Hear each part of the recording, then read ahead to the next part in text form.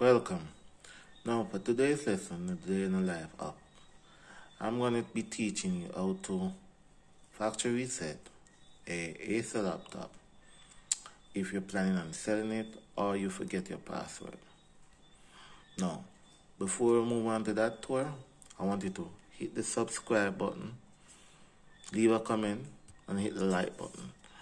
Um, let's go on the journey. Now, here I my laptop. There are many ways to do this, but this way that I'm going to show you today is one of the easiest and simplest way. Um, when to log in, try to log in to show you the password. There you go. There's a password on it. I don't know the pin, but what I'm going to do is want to hit the shift key. Then I'm going to scroll over to the turn off button. There you go. Let me get the focus. Hit the turn off button.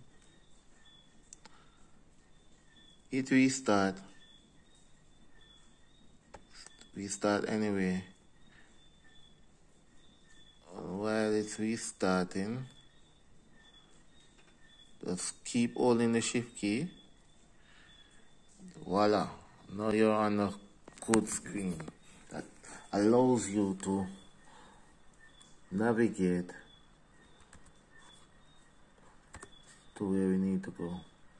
After moving into reset this PC, in the troubleshoot menu, you click enter. you can either choose to keep files or remove everything. If you're to sell the laptop, this is what you do. You remove everything. If you're planning on keeping the laptop and it's not performing well or it's not working properly, or just moving slow, virus, or whatever reason, you will keep the files. But because I'm not to be keeping the laptop, you will remove everything. Now, after it rebooted, came to this screen where it said reset this PC you have two, a couple of options where you can download and reinstall from the cloud or local installation.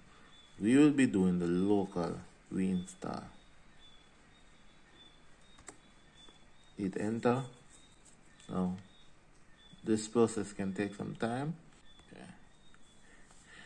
Now, this is also another important part where you say just remove my files and keep the PC or you do a full clean. You can do, do the just remove my, files and keep the PC if you, you're keeping the PC and it's just performing a bit slow or you're just planning to give it to a cousin or a friend.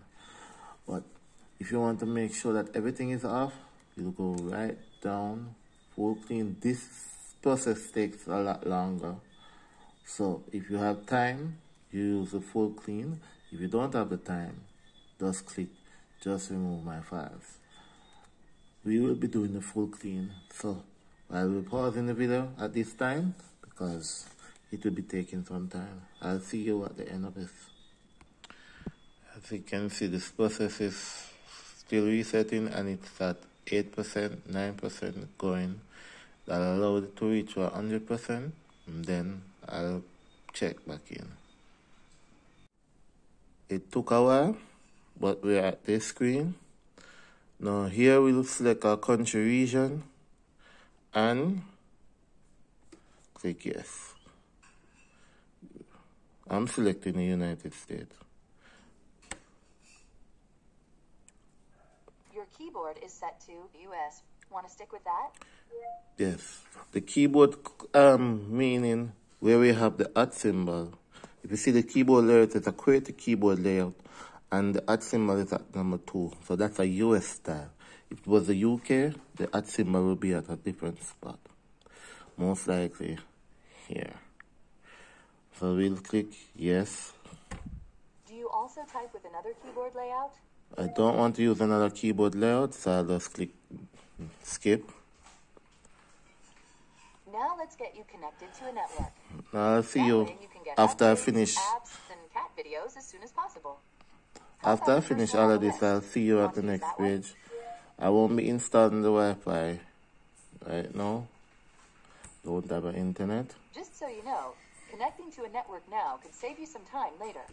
Skip. But no, I won't be Next connecting step, to the internet now. In short, This is the legal stuff. You have to click accept to go through can or to go past it. So if you don't click accept, you can't use it.